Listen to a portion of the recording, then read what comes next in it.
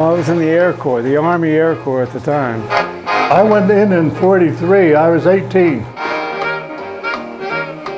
I was sent down to Nagasaki. Three weeks after the A-bomb was dropped, I was in there. The fellows you see around here have been here with us pretty much since the beginning. So they have old guys with no nothing better to do, so they spend their time in the shop. It keeps our hands busy and our minds. These cars making their way all over the world. Mexico, India, Africa, and uh, even Iraq, where they were given to our troops, and our troops would pass them out. Every time we build one of these little cars, I think that I wish I could be there to hand it to one of those kids and get the look on their face.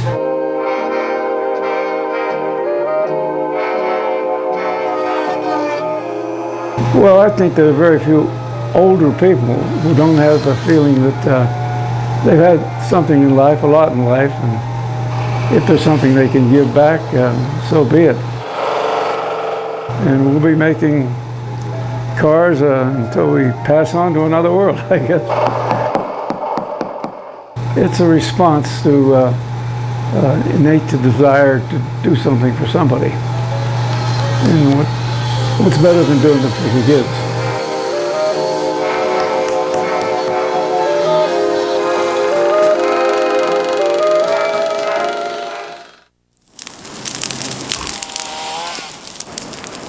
We're tied in with Slayton's bunch here.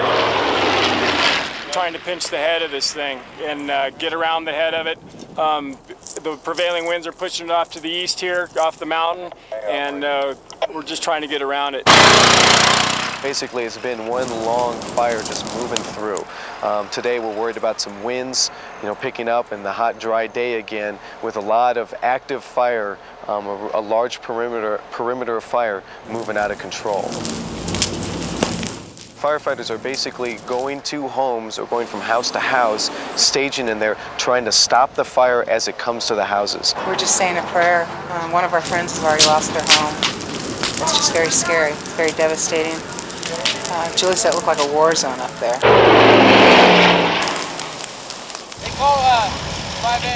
We have the road, we clean it up with the dozers, and uh, if we go ahead and, uh, and burn it, put the fire on our ground instead of having it up on the steeps. We're prepping with the saws, uh, removing any of the ladder fuels and any uh, dead and down material that might pose a problem once we uh, light this thing. Nobody knows. If anything could happen up there right now, depending on which way the wind goes.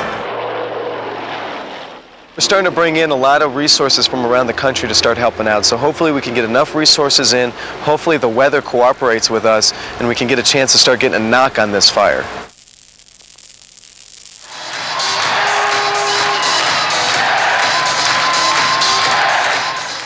How do you get from here to there? Rely on the fastest and best conversion crew in the country, the 20 men who work at the Pepsi Center. It's a little playpen of chaos. And I entered that playpen to see how it's done. We had four hours one night last week. As soon as the Avalanche game finished, the crew moved around like a bunch of very organized ants. Fast pace. Time is of the essence. So we just go right into the Yeah. First, we don't melt the ice, just cover it with a quilt of fiberglass subflooring. We're just filling the whole thing. It's like a big puzzle, and every piece has to fit perfectly. Tight as a drum. About an hour later, we finish that puzzle down to the very last inch. The Pepsi Center crew does this on average 120 times a season. Hockey to basketball, basketball to hockey. So here's the gauge. Now the hard part, removing the 300-pound plexiglass partitions that protect you from the hockey player. Then it's another back-breaking job, setting up the basketball bleachers and putting in all the portable seats. Next, we mark the floor so that we don't get a crooked basketball court. The hardwood is finally brought out in slabs, and that goes down.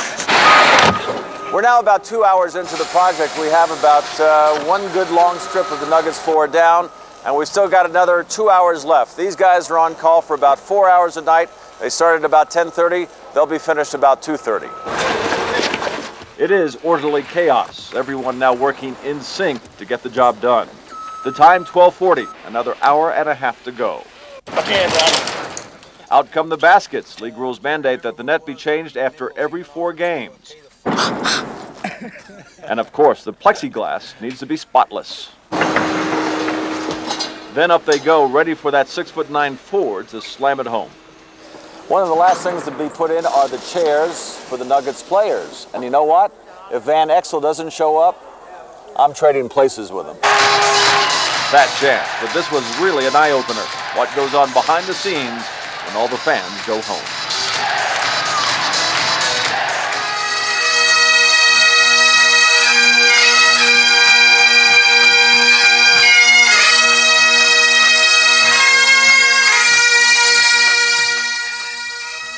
That's why we do it. That's why we keep doing it. And we carry on the legacy of these men that, that died just doing that. You know, they got up for work that morning. They left their families and they did the same thing. They every day, their careers, you know, that it cost them, but that's what we're willing to do.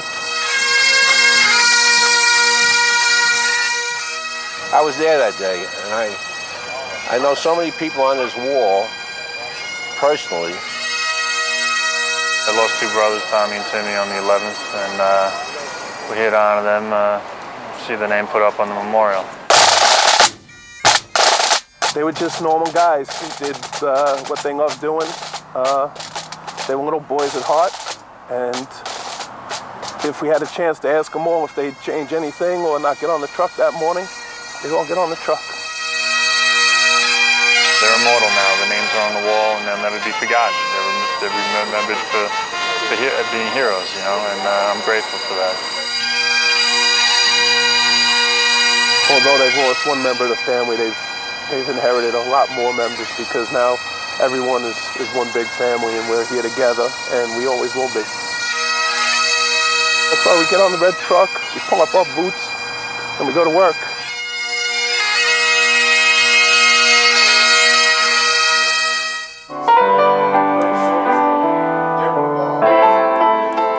When the things you plan need a helping hand, I will understand always. All of us have dreams and hopes. Hers was to be a great entertainer and to be able to perform on the level playing field. What'll be my way? Lena Horne had to work two, three times harder to overcome the obstacles that stood in front of her. You're looking the wrong way, honey. That's where the white folks live. She's a real role model for me. That I know who I am and I am what I am. And I don't have to prove to anybody that I'm not black enough or too black or anything like that. I'm just me. And that's what Lena Horne is to me. She's just her. I knew there was a new generation, Negro and white growing in the South, unafraid, unintimidated by bigotry and race superstition. So once again, it's people overcoming those obstacles to continue on with their lives and do great things. Um, and all people really want is a chance. And to caress my lyrics softly before I let them go. And people came in crowds to listen and stayed to hear more. Dreams and determination and will overcome all prejudice and all things that get in the way that just don't matter in life. It's all about what you want out of life, and you'll get it if you try hard enough.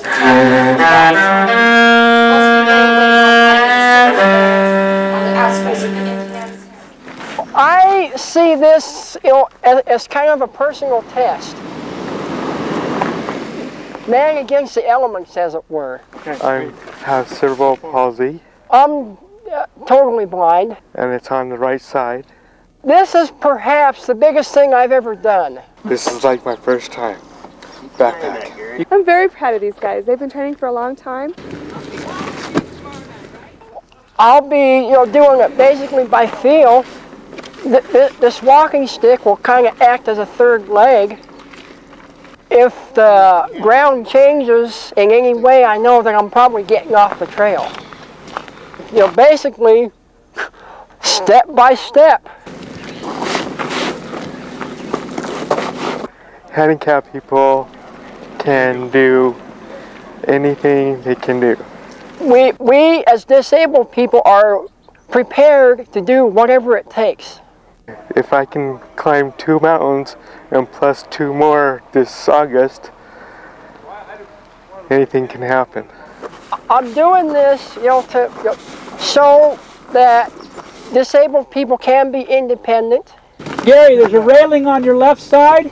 I- I'm also kind of doing this for myself, you know, to prove that I can do something.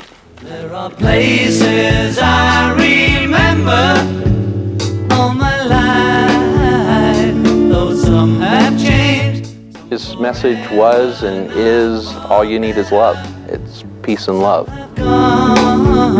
His art was like a visual diary for him. He didn't really make up things. He, he drew what he knew. He drew his life.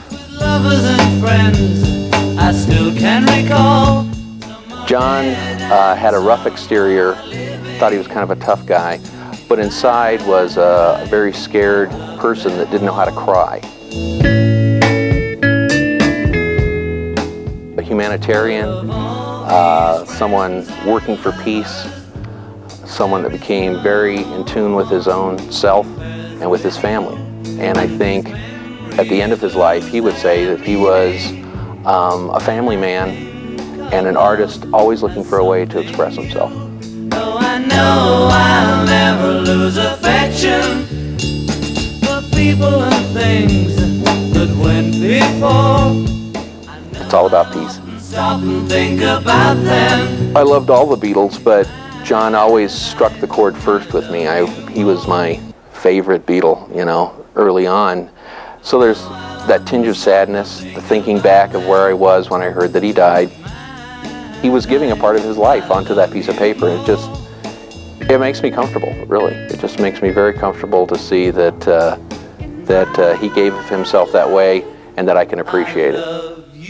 It's still alive, it's still very vibrant, it's still with us.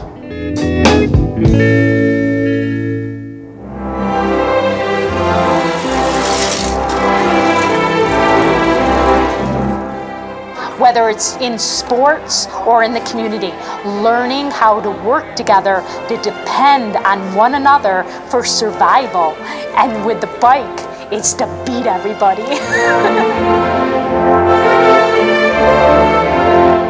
and that's why I like to reach out and speak to, to kids and let them know that there are wonderful opportunities and just wonderful things out there but they have to take charge and to listen and to be all they can, believing in themselves. I learned that you should not give up and you should work hard, be patient, be motivated to do it. There's a difference between you can't and you won't. And I wanted to reach out and let them know that potential is a gift and not to waste it. And that the only way to bring that out is courage.